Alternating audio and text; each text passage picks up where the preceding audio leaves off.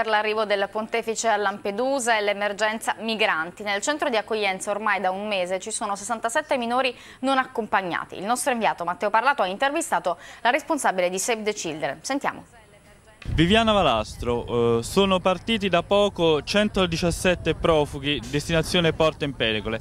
In questo momento qual è la situazione del centro di accoglienza di Lampedusa? La situazione al centro è molto tranquilla nel senso che appunto grazie anche a questi trasferimenti di oggi ma anche della giornata di ieri il numero sta lentamente arrivando ad azzerarsi.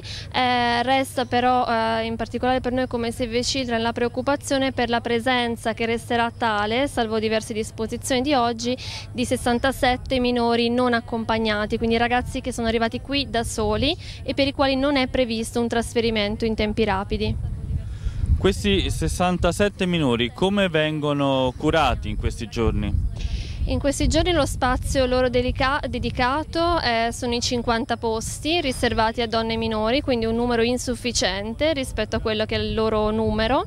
Ed è il motivo per cui noi da tempo, quindi fin dalla ripresa degli arrivi importanti, ma anche prima quando in tempi ancora non sospetti, eh, stiamo sollecitando le autorità affinché si trovi sull'isola, ma eventualmente anche fuori dall'isola, un posto dove poter garantire anche una prima accoglienza, ma una prima accoglienza che sia adeguata adeguata e che sia rispettosa dei loro diritti. Nel centro è arrivata la notizia dell'arrivo del Papa qui a Lampedusa? Nel centro sta lentamente arrivando la notizia, nel senso che eh, sanno, i migranti presenti sanno che c'è l'arrivo di una persona importante. Eh, noi come Save the Children ci preoccuperemo di informare in modo adeguato i minori, non appena avremo conferma del fatto che saranno effettivamente presenti il giorno in cui il Papa verrà in visita, quindi lunedì. Quali sono i gruppi più etnici più importanti all'interno del centro? Eh, la maggior parte delle persone arrivate in questi giorni sono, provengono da paesi come la Somalia e l'Eritrea. Questi sono i due gruppi eh, sicuramente più numerosi.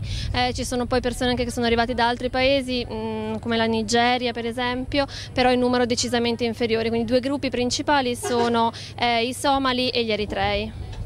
Loro vi raccontano particolari del loro viaggio? Vi dicono per esempio eh, quanto pagano per attraversare il Mediterraneo o quanto hanno pagato per attraversare, parlo degli eritrei, il deserto?